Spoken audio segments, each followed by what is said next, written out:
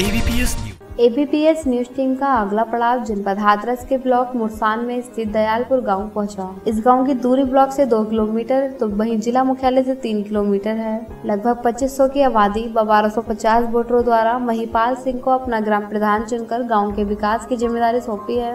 वर्तमान समय में गाँव में लगभग दो राशन कार्ड धारक लाभार्थी है। गाँव में शिक्षा के स्तर की बात करें तो प्राइमरी पाठशाला में लगभग 200 बच्चे शिक्षा ग्रहण करने आ रहे हैं। गाँव में विकास कार्यों की बात करें तो पेयजल आपूर्ति व्यवस्था दुरुस्त करने के लिए 30 हैंडपंप लगे हुए हैं।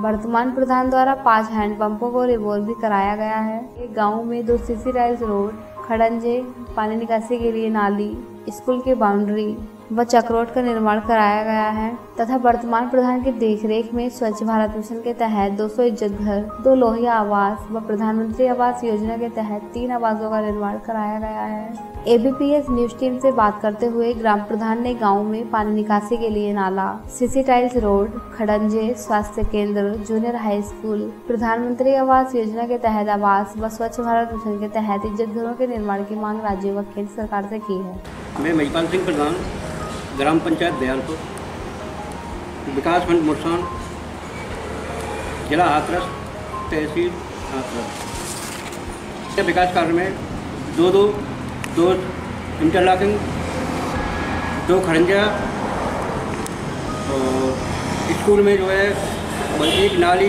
स्कूल में जो है, इंटरलॉकिंग, बाउंड्री, समर, पानी फिटिंग, और बाउंड्री पे जो है, तार की व्यवस्था जो है शौचालय शौचालय निर्माण और नलों के रिवोर्ट हमारी जो है तालाब खुदाई जो है ये सब पूरा काम कराया है। और हमारे यहाँ जो है दो स्कूल तो हैं, प्राइमरी स्कूल हैं, पर हमारे यहाँ जूनियर हाई स्कूल की बहुत ज़्यादा सख्त ज़रूरत है। क्योंकि बहन बेटी है, उनके जाने के लिए कोई सुविधा नहीं है, यहाँ से दो तीन किलोमीटर पर सरकारी स्कूल है। और जो है गरीब, जो गरीबों के लिए जो है पेंसिल जो है चालू होनी चाहिए। जिनकी पेंसिल नहीं है, उनकी पेंसिल बदलनी चाहिए। और जो है, नल जो है ख़राब पड़े हैं, वो रिबोर होने चाहिए। विकास कार्य के लिए धन की मतलब बहुत शॉर्टेज है। किस्त बहुत कमाती है किस्त मतलब पैसा जो बढ़ाना चाहिए। हमारे यहाँ जो है तीन तो आवास बने प्रधानमंत्री आवास बने दो लोही आवास बने और अभी आवासों की बहुत सख्त ज़रूरत है।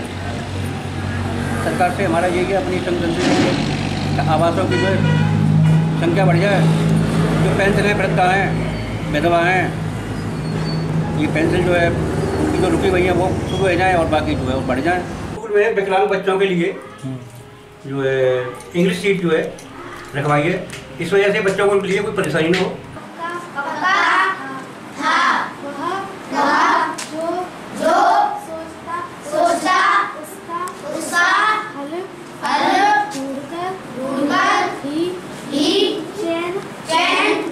मेरा नाम दीपक सिंह है और मेरे पापा का नाम लक्ष्मण सिंह है।